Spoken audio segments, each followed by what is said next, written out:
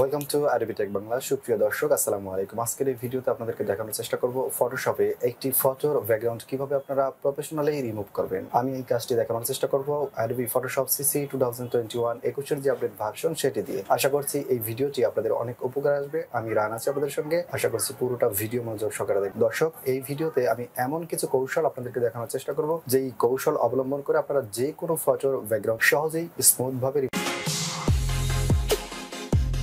সুপ্রিয় দর্শক আমরা ফটোশপটি ওপেন করে নিচ্ছি। আপনারা সিসির যে কোনো ভার্সন দিয়ে কাজগুলো এভাবে করতে পারবেন, অন্যান্য ফটোশপ দিয়েও করতে পারবেন।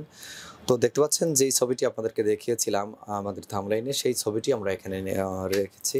দেখতে পাচ্ছেন, এই ছবিটি আমরা ব্যাকগ্রাউন্ডটি রিমুভ করব। আর যেই উপায়ে আমরা ব্যাকগ্রাউন্ডটি রিমুভ করব, সেটি আপনারা একেবারে দশ সেকেন্ড দশ সেকেন্ডেই করতে পারবেন। তো আপনাদের বোঝানোর ক্ষেত্রে একটু ভেঙে বোঝাতে গিয়ে একটু সময় বেশি লাগছে। তো দেখতে পাচ্ছেন যে এখানে কিন্তু লেয়ারটি যে আছে, এই লেয়ারটি কিন্তু লক করা অবস্থায় থাকবে। আমার এটি লক করা অবস্থায় ছিল। তো আমি লকটা খুলে ফেলেছিলাম। দেখতে পাচ্ছেন লেয়ারটি লক করা অবস্থায় আছে। এই লকটি আমাদের প্রথমে খুলে নিতে হবে। এই লেয়ারটির এখানে ডাবল ক্লিক করব। ডাবল ক্লিক করার পর আমাদের লেয়ার স্টাইল যে উইন্ডোটা আসবে, এটাকে আমরা ওকে করে দিব। এরপর এখান থেকে ওকে করে দেওয়ার পর দেখতে পাচ্ছেন যে লকটা খুলে গেছে। এবার আমরা অন্য একটি ফটো নিব। যেই ফটোটা আমরা ব্যাকগ্রাউন্ড হিসেবে ব্যবহার করব, এর জন্য আমরা ওপেনে চলে গেলাম। আমরা ফাইল ফাইল থেকে ওপেন ওপেন থেকে আমরা সেই ব্যাকগ্রাউন্ডটি নেব। আমি আপনাদের দেখানোর ক্ষেত্রে এই ব্যাকগ্রাউন্ডটি নিয়ে নিচ্ছি। এই ব্যাকগ্রাউন্ডটি ড্র্যাগ করে ধরে আমরা ওই ছবির উপর ছেড়ে দিব। ছবিটার ফুল যতটুকু হয় ব্যাকগ্রাউন্ডটা একটু ছোট মনে হচ্ছে, আমরা এটাকে ফুল করে দিব।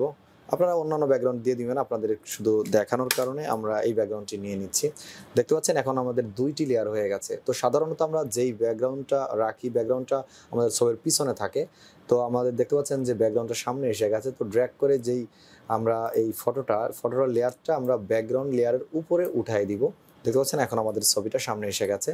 এবার আমরা চলে যাব হচ্ছে সিলেক্টে সিলেক্টে ক্লিক করার পর এখানে দেখতে পাচ্ছেন সিলেক্ট অ্যান্ড মার্কস বা কিবোর্ডের অল্টার প্লাস কটন প্লাস আর এইটুকুর মধ্যে ক্লিক করলে, অর্থাৎ কন্ট্রোল আপনার প্রথমে অল্টার ক্লিক করে ধরবেন, তারপর কন্ট্রোল তারপর আর প্রেস করবেন।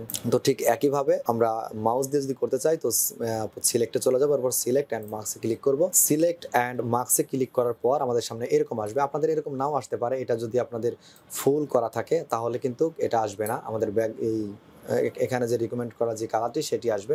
তো আমরা এটাকে ফিফটিন করে দিলাম। তো দেখতে পাচ্ছেন দুইটাই দেখা যাচ্ছে। তো এবার আমরা এখান থেকে আপনারা চাইলে অন্য কোনো সিস্টেমও করে নিতে পারেন। আপনারা ব্ল্যাক করতে পারেন হালকা হোয়াইট করতে পারেন, যেমনটা দরকার। যে আমরা যে আমরা যেটা আছে সেটাই করে নিলাম। পর আমরা এখান থেকে এগুলো সব কিছু জিরো জিরো থাকবে। এখানে দেখতে পাচ্ছেন সব জিরো জিরো থাকবে।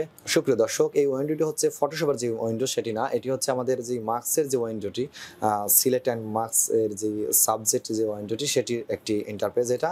তো আমরা এখন এখানে দেখতে পাচ্ছেন সিলেক্ট অ্যান্ড সাবজেক্ট এই সিলেক্ট সাবজেক্টের মধ্যে আমরা এটা ক্লিক করব এবং সাবজেক্টটি রেখে আমাদের পিছনের যে ব্যাকগ্রাউন্ডটা এটা অটোমেটিকলি এখান থেকে রিমুভ করে দিবে। দেখতে পাচ্ছেন? এখানে কিন্তু আমরা যদি একটু জুম করে দেখতে পাচ্ছেন? এখানে প্রত্যেকটা চুল কিন্তু রয়ে গেছে। একটু খেয়াল করে দেখুন যে প্রত্যেকটা চুল কিন্তু রয়ে গেছে। ঠিক একইভাবে আপনারা এইভাবে করবেন। এরপর আমরা এখান থেকে, এরপর আমাদের এখানে আর কোনো কাজ নেই। এটা এইভাবে এই অবস্থায় থাকবে, সব ডিফল্ট অবস্থায় থাকবে। এখান থেকে আপনাদের এরকম থাকতে পারে আউটফুট সেটিং আউটফুট সেটিংয়ের মধ্যে এটা ক্লিক করবেন। এখান থেকে আপনারা অবশ্যই লেয়ার মার্কসটা সিলেক্ট করে তারপর ওকে করে দিবেন। এখান থেকে ওকে করে দিলেই আমাদের যে ব্যাকগ্রাউন্ডটি সেটি আমাদের সামনে চলে আসবে। দেখতে পাচ্ছেন? এখন আমরা এটা, এটাকে পিএনজি করে রাখতে পারি ব্যাকগ্রাউন্ডটা সরাই যেমন এই ব্যাকগ্রাউন্ডটা সরাই দিলে এটা পিএনজি অবস্থায় করতে পারবেন।